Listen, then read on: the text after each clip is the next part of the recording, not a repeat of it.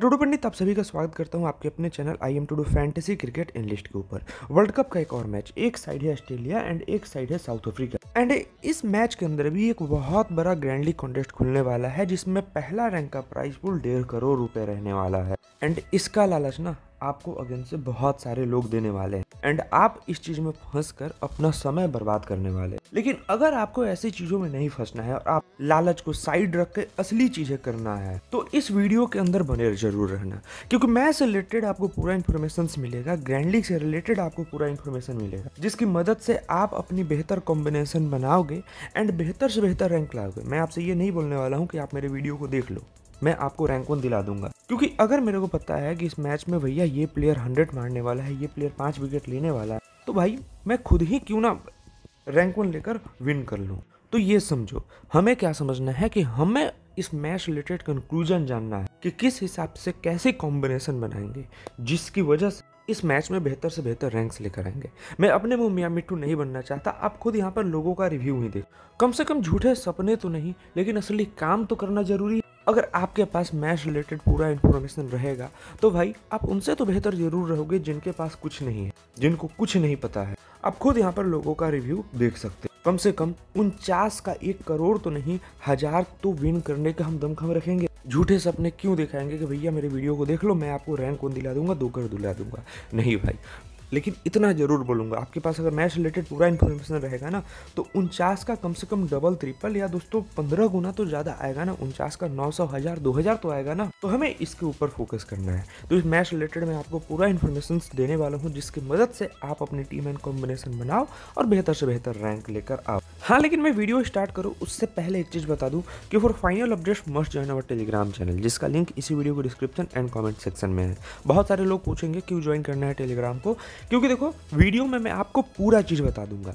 लेकिन फिर भी, अगर मान लो कोई अपडेट आता है, जैसा pitch report etcetera playing eleven final playing eleven तो वही अपडेट टेलीग्राम पर मैं देता हूँ। लेकिन पहले वीडियो को देख लो, चीज़ों को सीख लो, समझ लो कंक्लूजन्स को जान लो। क्या है कि लोग आसान तरीका ढूंढते हैं पैसे कमाने का। उसमें एक तरीका ये भी है कि किसी का टीम उठाओ कॉपी करो और भैया, उसे लगाओ विन हो गया तो वाह वाह करो लॉस हो गया तो गरिया कर जाओ। तो इससे कब तक अपना घर चला रहोगे वे तो मैं यही बोलूँगा कि पहले वीडियो को देख लो, उसके बाद आराम से आप ज्वाइन करना एंड टेलीग्राम को ज्वाइन लिंक से करना ताकि ओरिजिनल एंड ऑफिशियल चैनल से जुड़ सको, क्योंकि बहुत सारे फेक चैनल्स है जिनके पास जाओगे और भाई कुछ भी के नाम से, मेरे नाम से आपसे ठग लेंगे। तो लिंक से ही ज्वाइन करें। एंड सॉरी फॉर डैट कि मैं फेस कैम वीडियो नहीं ले लाया इस मैच के अंदर, क्योंकि मैं भैया कहीं और हूँ। ट्रैवल करते करते ठीक है तो एक और नए शहर में आया हूँ और अभी मेरा मूड बिल्कुल नहीं है फेस कैम वीडियो बनाने का क्योंकि वर्कलोड की वजह से भाई नींद पूरा नहीं हो रहा है। चलो मैं आपको मैच की तरफ़ लेकर चलता हूँ। अब मैं बात करूँ पिच के बारे में तो जो देखो लखनऊ का जो वेन्यू है ना, भाई स्पिनर्स को मैंने पूरा आईपीएल देखा था, बहुत ज़्यादा ही मदद कर रहा है। पहले भी स्पिनर्स को यहाँ पर बहुत ज़्यादा मदद था, क्योंकि मैच जैसे जैसे आगे बढ़ रही थी पिच उतना ही रफ और उतना ही स्लो होते हुए जा रहा था। ओवरऑल देखोगे, एक तो चैपुक चेन्नई हमारी वेन्यू हो जाती है एंड एक लखनऊ हो जाती है, जो स्पिन फ्रेंडली जिसे हम मानकर चलते हैं। कुछ इस तरीके का आपको स्टेडियम दिखाई देगा एंड इस तरीके का ग्राउंड आईपीएल के अंदर। लेकिन एक न्यूज़ ये सुनने के लिए हमें मिल रही है। देखो जेटली क्रिकेट स्टेडियम भी सेम काम करता था अनएक्सपेक्टेड था। लेकिन लखनऊ के ऊपर मैंने ऑलरेडी बताया, स्पिन को मदद है, वो आगे और भी प्रूफ हो जाएगा। चीज़ें कुछ इस तरीके से चल रही है कि बीसीसीआई ने जितना भी इंडिया के अंदर ग्राउंड थे उनको रिन्यू करवाया है। मतलब पीछे जो पहले थे, उधर से मिट्टी निकाला गया और नई मिट्टी डालकर बनाया गया। तो बहुत ज़्यादा मैटर करेगा कि क्या वे पिच सपाट है, क्या पिच पर ग्रास है बट वही है यार। पिच ग्रास हो, कुछ भी हो धीरे धीरे कंडीशंस बदलते बदलते हुए स्टेज आ ही जाएगा कि भाई एज अलवेज पिच परफॉर्म करना शुरू कर देगा। ओवरऑल चार ओडीआई के मैचेज खेले गए हैं। एंड इन चार ओडीआई में देख लो, एक भी ऐसा मैच नहीं रहा जिसमें स्कोर 300 के ऊपर गया हो। उल्टा दोस्तों स्कोर अढ़ाई सौ से भी नीचे ही रहा। जहाँ पर मैं बात करूँ, एक श्रीलंका और एक इंडिया के बीच में मैच हुआ था। वह मैच भले ही इंडिया ने लॉस किया था और स्पिनर्स खास रोल में नहीं थे, लेकिन उस मैच को छोड़ दूँ तो रिमेन जितने भी मैं आपको मैच देखा हूँ यहाँ पर छः विकेट, स्पिनर ग्यारह विकेट छः विकेट, यहाँ भी छः विकेट। के अंदर विकेट मैच प्रोसेस लिया, उसके बाद विकेट्स मिला जो स्पिनर्स का रहा। बट वही है, फाइनल पिच हमें देखना पड़ेगा किस तरीके से बिहेव करती है। बट हाई चांस यही है, जो टीम बैटिंग टॉस विन करेगी, बैटिंग फ़र्स्ट करेगी। एक स्कोर बोर्ड एक अच्छा नंबर्स तक लेकर जाएगी और उसे अपने बॉलर्स की मदद से, जो उनके पास अच्छा खासा वेरिएशन एंड स्पिनर्स की मदद से वे स्कोर को डिफेंड करने की कोशिश करेगी। मेरे नज़र में यही होना चाहिए, लेकिन पॉइंट ऑफ़ व्यू भाई कैप्टन्स का भी जानना हमें ज़रूरी है। बट जो पास्ट रहा है ना हम उसी हिसाब से चीज़ों को जज करने की कोशिश करें। भाई, मैं किसी का पास्ट नहीं, इस विन्नू के पास्ट के बारे में बात कर रहा हूँ, ठीक है? ऑस्ट्रेलिया। एक लॉस तीन लॉस और एक विन साउथ अफ्रीका लगातार विन तो साउथ अफ्रीका तगड़े फॉर्म में है, ठीक है?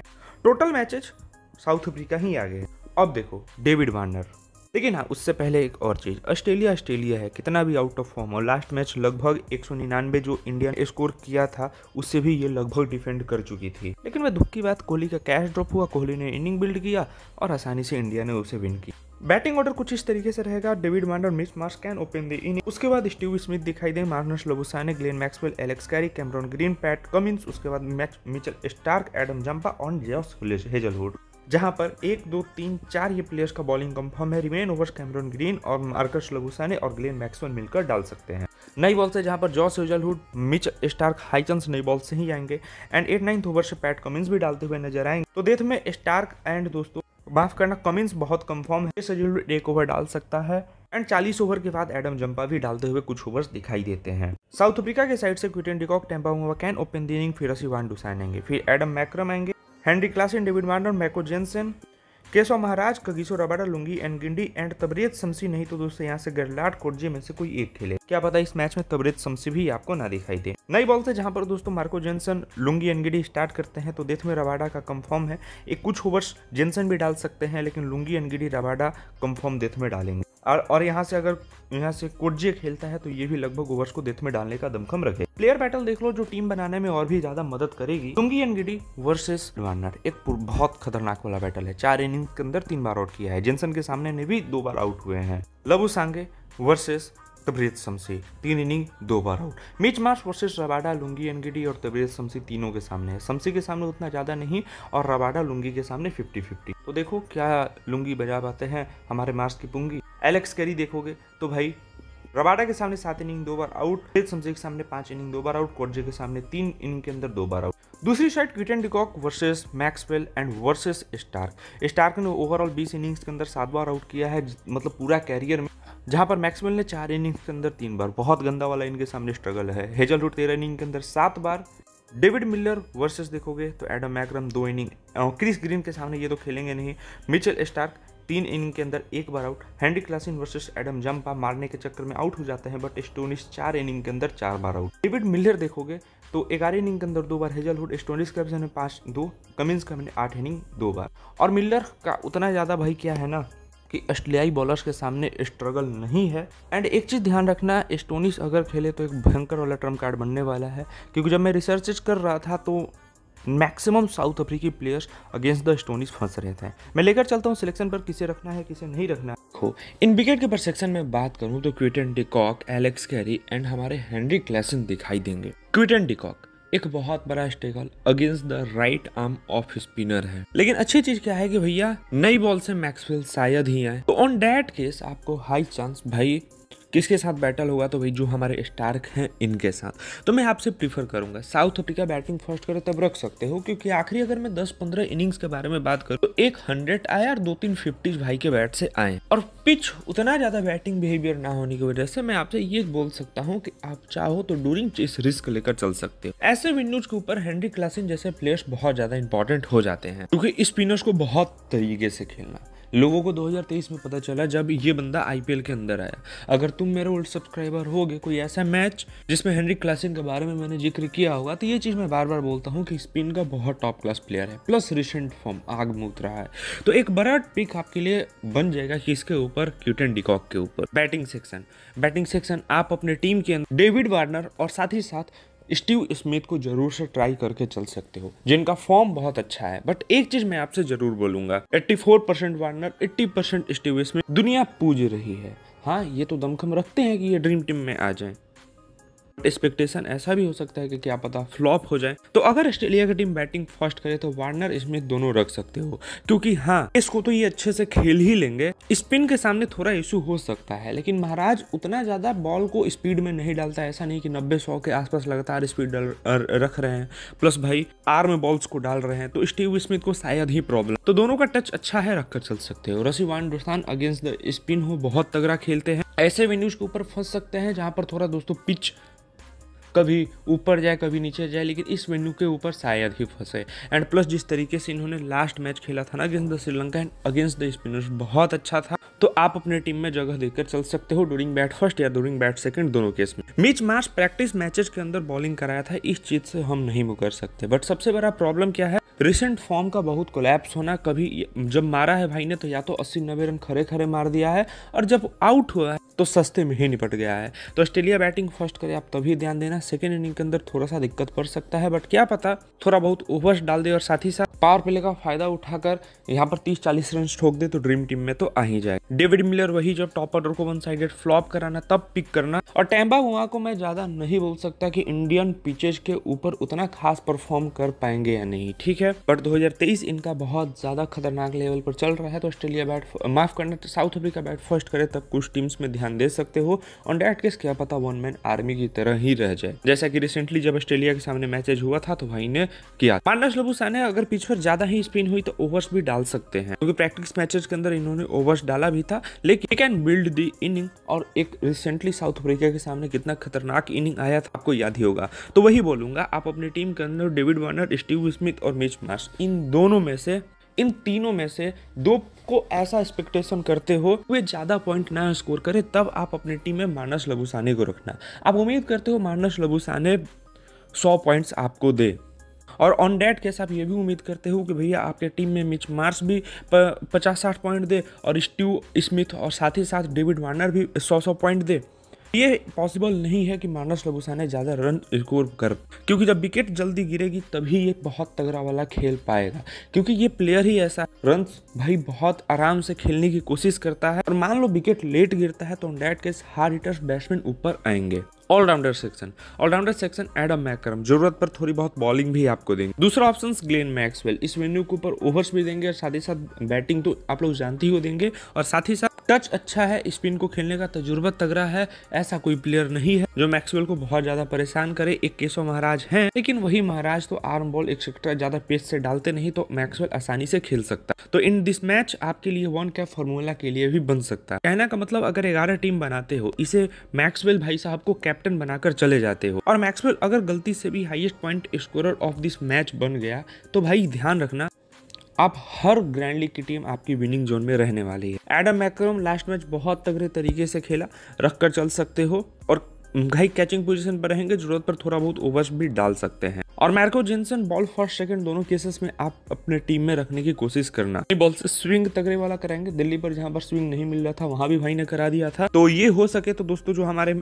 एम मिच मार्स है, इन्हें लपेटने की दमखम रखे और प्लस थोड़ी बहुत बैटिंग भी आपको दे सकते हैं। क्रिस गिन स्लो पिच होने की वजह से मैं बहुत ज़्यादा प्रीफर नहीं करूँगा बट ऑस्ट्रेलिया को वन साइडेड फेवर करते हो टॉप और वो फ्लॉप कराते हो, तब ज़रूर से पिक कर लेना। बॉलिंग सेक्शन अब नॉर्मली अगर आप ऑस्ट्रेलिया का स्ट्रेंथ देखोगे तो दोस्तों जॉस सिजलहुड मिचल स्टार्क और आपके लिए तो पैट कमिंस ये तीनों त्रेदेव जो ऑस्ट्रेलिया के मेन प्लेयर से रहने ही चाहिए। स्टार्क जहाँ पर आंखबंद पिक रहने चाहिए रबाडा आंखबंद पिक रहने चाहिए, ये दो ऐसे नाम से जिन पर आप भरोसा कर सकते हो, जो विकेट निकालने के दमखम रखेंगे। क्योंकि नई बॉल और पुरानी बॉल दोनों से बॉलिंग कराना इंडिया के अंदर बहुत सारे मैचेज खेल कर एक्सपीरियंस रखना, ये चीज़ इनके लिए तगड़ा करके दे सकती है। बात है कॉटजे की तो साउथ अफ्रीका बॉलिंग फ़र्स्ट करे, तब ट्राई करके चलना। ऐसे साउथ अफ्रीका बॉलिंग सेकंड करे तो भी रख सकते हो, क्योंकि ओवर्स को डेथ में लेकर आएँगे। साउथ अफ्रीका बैटिंग फ़र्स्ट करे, तब अपनी टीम में महाराज को एज ट्रंप लेकर चलना। नहीं तो one of the biggest trump in this match Adam Zampa फिर से बनेंगे। वे बात की बात है कि जो हमारी इंडिया टीम थी, इन्हें बहुत अच्छे तरीके से धोई और एक विकेट भी नहीं फेंकी। लेकिन ये चीज़ हम नहीं बोल सकते कि ये लेग स्पिनर है एंड ये लखनऊ का पिच है। तो थोड़ा एडम जंपा, भाई, रोल में आते हुए इन दिस मैच दिखाई दे सकते हैं। Pat Cummins Australia bowling first करे एट एन को स्पिक सेकंड में भी रख सकते हो, क्योंकि ज़रूरत पर थोड़ी बहुत बैटिंग में दे सकते हैं एंड स्टार्क के साथ ओवर्स को देते में लेकर आ सकते हैं। लॉस एजलहुड मैक्सिमम भाई, नई बॉल से ही बॉलिंग कराएँगे। तो नॉर्मली टॉप ऑर्डर को फ्लॉप ज़रूर कराना, एक दो ओवर्स डेथ में भी ला सकते हैं। एंड एक गोल्डन टिप मैं आपको और देना चाहता हूँ एजलहुड को लेकर, कि दोस्तों स्टार्क और पैट कमिंस से कई गुना ज़्यादा साउथ अफ्रीका की जो टीम है, वे हेजलहुड के सामने करती है। और हाँ एक हद तक आप कोटजे पर भी रिस्क ले लेना। लेकिन एक जो प्लेयर है ना, इस मैच में सबसे बड़ा ट्रंप कार्ड बनेगा लुंगी एनगिडी। रीजन क्या है? नई बॉल से लास्ट मैच में बॉलिंग दे दिया गया। जिस लेवल का इनके पास वेरिएशन है दिथ में आकर स्लो पिच पर और स्लो बॉल डालकर विकेट निकाल सकते हैं। एंड ऑस्ट्रेलिया की टीम बहुत गंदा वाला फंसती है। आठ मैचेज में ही इनके सामने अठारह विकेट्स फेंक चुकी है। प्लस इस वेन्यू के ऊपर इनका एक अलग एक्सपीरियंस है तो मैं प्रीफर करूँगा आप अपने टीम में as a one of the biggest trump card try करके चल सकते हो। ओवरऑल मैं आपसे यही बोलूँगा, जो टीम बैटिंग फ़र्स्ट करे वे साउथ अफ्रीका हो एंड वे ऑस्ट्रेलिया हो, आप उसी को फेवर करना। फ़र्क नहीं पड़ता कि साउथ अफ्रीका लास्ट में 400 रन मारकर आ रही है। यह भी फ़र्क नहीं पड़ता कि दोस्तों ऑस्ट्रेलिया लास्ट मैच इंडिया से हार कर रही है, रन बनाई नहीं, रन स्कोर नहीं की। क्योंकि जो भी टीम्स है, यहाँ पर अपने क्वालिटी की वजह से है। तो सबसे पहला रूल कि आप स्पिन को इस वेन्यू के ऊपर तो खासकर बहुत इज़्ज़त के साथ खेलो। दूसरा रूल कि आप बैटिंग फ़र्स्ट करते हुए एक पहाड़ सा स्कोर खड़ा करो सेकेंड इनिंग में जब थोड़ा पिच स्लो हो जाए, जब पिच थोड़ा रफ हो जाए तो उसका आप आसानी से फ़ायदा उठ। हाँ एक चीज़ और मैं आपसे बोलना चाहता हूँ इन दिस वर्ल्ड कप हर पिच पर एक्सपेरिमेंट्स किया गया है। हर पिच को चेंज किया गया है। दिल्ली का पिच जो बहुत ज़्यादा अनप्रेडिक्टेबल अनप्रेडिक्टेबल रहता था, उसे बैटिंग फ्रेंडली बना दिया गया। लखनऊ के पिच पर भी जैसा कि तुम लोग वीडियो के स्टार्ट में ही बताया कि, भाई पिच बदला गया है। बट कंडीशंस और साथ ही साथ, दोस्तों धीरे धीरे वे, वही सिचुएशन में आ जाती है, जैसा कि हमेशा बिहेव करती है। तो वही, जो टीम बैटिंग फ़र्स्ट करे, आप उसे फेवर करके अपनी टीम में चलना बट कुछ टीम अपोजिट भी बनाना। ऑस्ट्रेलिया साउथ अफ्रीका दोनों बहुत अच्छी टीम्स हैं। दोनों विन करने की दावेदारी रहेंगी। तो भाई बहुत सारे आपको ऑप्शन यहाँ पर मिलने वाले हैं। तो मैच के हिसाब से ही प्लेयर्स को पिक करना ना आप ये सोचना कि इस मैच में ये चलेगा, ये नहीं चलेगा। आप कंडीशंस के हिसाब से अपनी टीम बनाने की कोशिश करना। आई होप आपको ये वीडियो अच्छा लगा होगा, क्योंकि मेरे को ना, मेरा काम नहीं कि भाई मैं आपसे बोलूँ कि भाई विराट कोहली चल जाएगा, ये वो हो जाएगा। नहीं भाई, मैं आपको उनका कंक्लूजन बताऊँगा रीजन भी दूँगा कि इस वजह से चलेगा एंड इस वजह से नहीं चलेगा। आई होप आपको ये वीडियो अच्छी लगी होगी तो जाने से पहले लाइक कर देना चैनल पर नो सब्सक्राइब कर देना, बाकी मिलते हैं टेलीग्राम पर। जय हिंद।